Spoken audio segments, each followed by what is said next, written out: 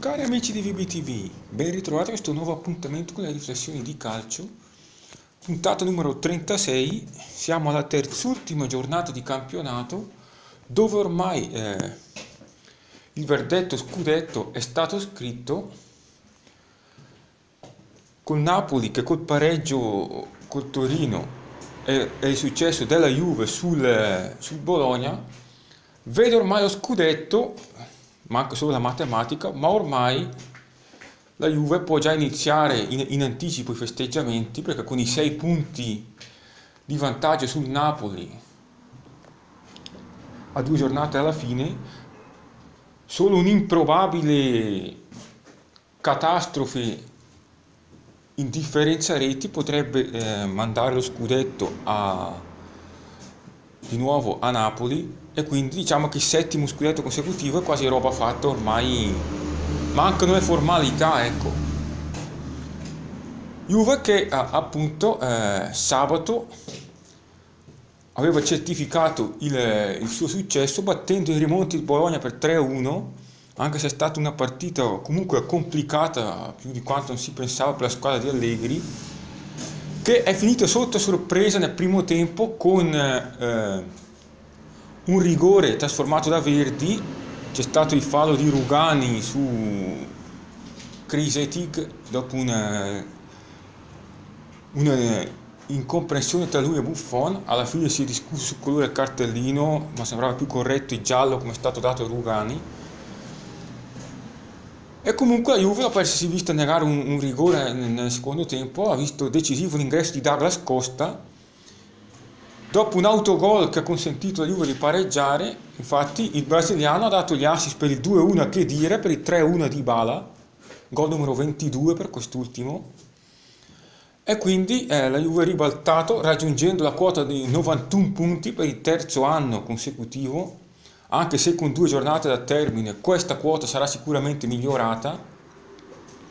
E così può concentrarsi sulla finale di Coppa Italia mercoledì nella prima eh, dalle due trasferte romane, ricordiamo che poi anche domenica i bianconeri dovranno ritornare per affrontare i giallorossi nella penultima di campionato, nella gara in cui potrebbe arrivare anche la eh, matematica, ma difficile non attribuire già la matematica oggi, eh, a, a, a attribuire già lo scudetto oggi anche se vabbè, quando ci sarà la matematica le cose saranno più compiute.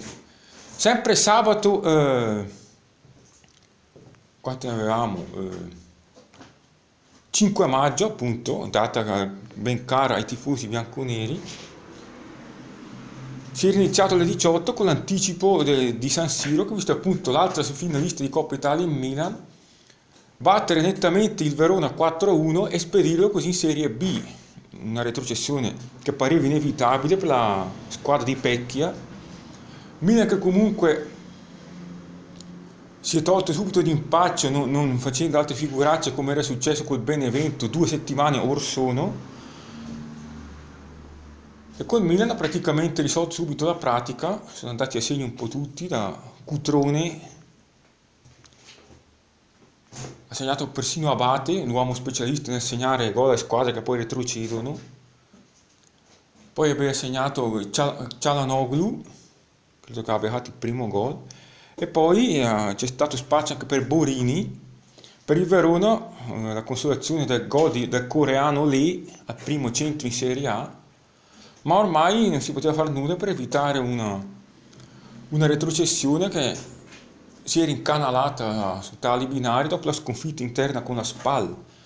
E adesso tutto bene quindi per il Milan che riesce anche a riprendersi il sesto posto e avrà la possibilità in caso di successo di mercoledì in Coppa Italia di arrivare dritto alla fase a gironi dell'Europa League come la sarebbe adesso sul come sarebbe adesso sul campo e di addolcire così in più la trasferta di Bergamo in programma appunto eh, domenica nel tardo pomeriggio. Passando poi alle partite di domenica 6 maggio, eh, di ieri praticamente, si è cominciato alle 12.30 con l'Inter che nell'anticipo ha praticamente sommerso la povera Udinese per 4-0 a Friuli, riscattando così la sconfitta con aspre polemiche maturata in casa della Juve, in casa con la Juve. Ricordiamo le reti sono state firmate da Ranocchia,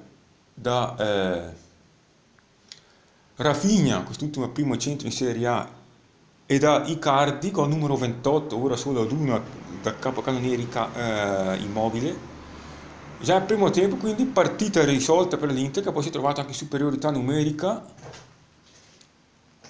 per l'espulsione, adesso non mi ricordo più di chi.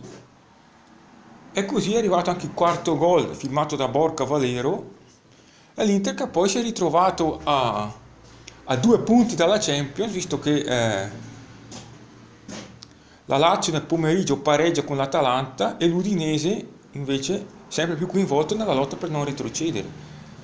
Appunto il pareggio per 1-1 tra Lazio e Atalanta, l'Atalanta era passata in vantaggio per primo con eh, gol del solito Barrov, ormai una, una certezza consolidata, poi il pareggio laziale che ha portato alla firma di eh, Caicedo che sostituiva il bomber immobile assente. E la Lazio così è scivolata al quarto posto, ora con soli due punti di vantaggio. L'Atalanta che comunque avrebbe meritato anche di vincere per ciò che ha costruito, soprattutto nella ripresa, scivola al settimo posto e ora vede la Fiorentina a soli due punti. E soprattutto attesa eh, dallo scontro diretto col Milan di, eh, eh, di domenica, appunto controsenso è stato appunto un risultato negativo per l'Atalanta eh,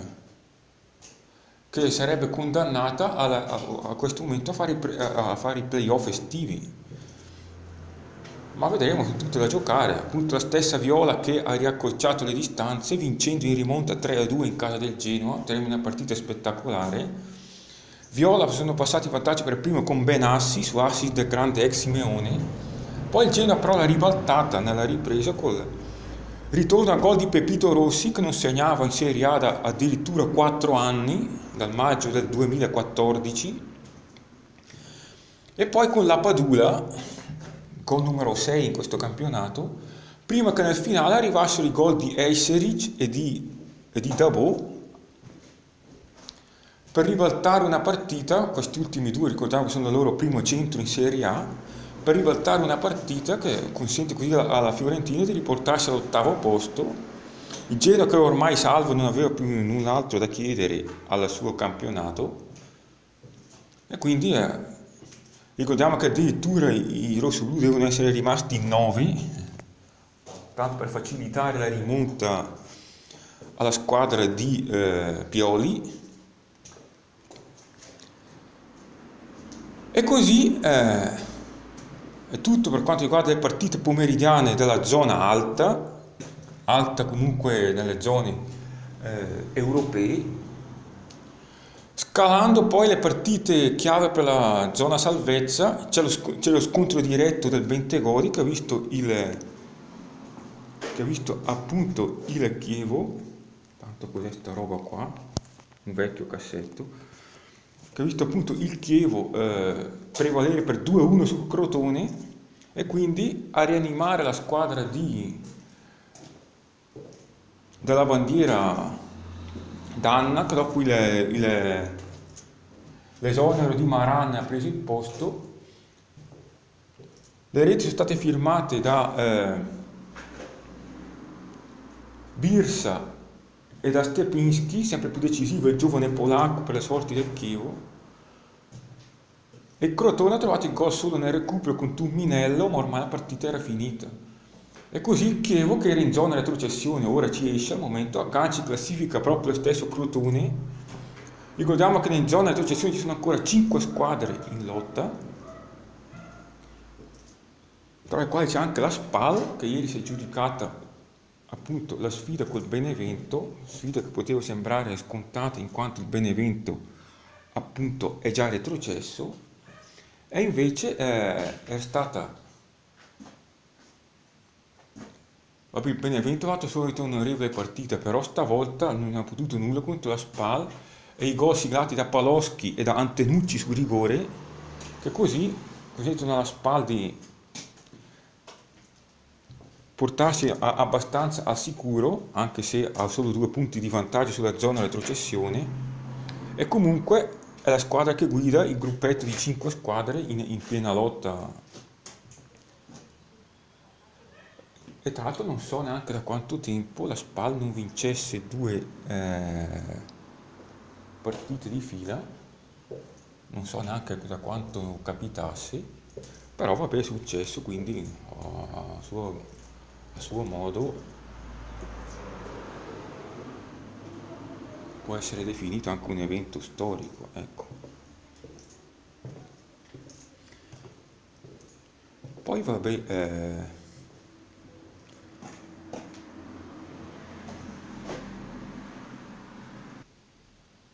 non ci resta appunto che eh, pareggio del Napoli, appunto fermato sul 2-2 in casa del Torino, due volte ripreso dopo essere stato in vantaggio, dimostrazione della di aver mollato anche sul piano psicologico, eh, probabilmente dopo la partita di Milano delle, della Juve l'Inter ha, ha, mollato completamente, pensare che poteva essere ancora meno uno e dare del filo da torcere alla Juve, invece scivolando a meno 6 ha praticamente rinunciato a tutto, ora si parla anche di un addio di Sarri a fine stagione. Per quanto riguarda la partita in Napoli è riuscito a passare in vantaggio con Mertens, grazie a un clamoroso errore di Burdisso in fase di disimpegno, de- diciottesimo gol per il belga, però il Torino ha raggiunto immediatamente il pareggio grazie a, a Baselli a inizio ripresa. Ansik poi appena entrato ha riportato i vantaggi in Napoli, prima del pari di De Silvestri, che così ha sancito il pari definitivo. Serviva ben poco il Torino il pari, ma il Napoli decisamente è apparso un po' sottotono nonostante un, pa- un, un palo colpito da Milik e, eh, e quant'altro. Tanto qui siamo in zona... Vabbè, poi restano due partite da mettere in esame, il posticipo delle 18 che ha visto appunto il Sassuolo ottenere la salvezza matematica superando per 1-0 la Sampdoria, ha deciso il gol del solito Politano, che così consente ai neroverdi di attestarsi a quota eh, 40 e appunto festeggiare una salvezza che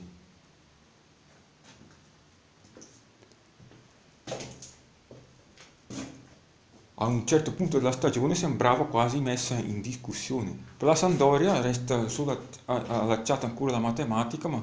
con questa sconfitta, la terza di fila fuori casa, può dire addio alle ambizioni europee dopo aver mantenuto a lungo anche il sesto posto. E quindi la squadra, dopo che sembrava essere rientrata in gioco col successo di Bergamo, invece ora è probabile che debba rimanere fuori, anche perché la Fiorentina è sempre decisamente messa meglio. Ricordiamo che i punti di ritardo dall'Atalanta sono 5 e sempre un incolmabile a questo punto della stagione. Infine, nel posticipo serale, la Roma eh, si impone per 1-0 a Cagliari, mantenendo il terzo posto. Ha deciso un gol del solito Under, anche se Cagliari, tra, eh, tra errori sotto porta e rigori non concessi,